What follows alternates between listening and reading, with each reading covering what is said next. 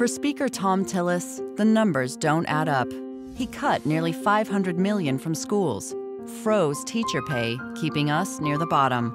And that pay raise? Only a fraction of 1% for our most experienced teachers, and forced cuts to teaching assistants, but still protected tax breaks for yacht and jet owners. We can't afford Thom Tillis in the U.S. Senate. The Democratic Senatorial Campaign Committee is responsible for the content of this advertising.